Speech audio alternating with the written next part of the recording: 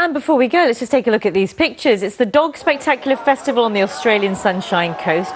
You may have seen dogs on surfboards before, but organisers tell us this event is unique in the fact that owners and dogs get to ride together. This year, apparently, there were competitors from 20 countries.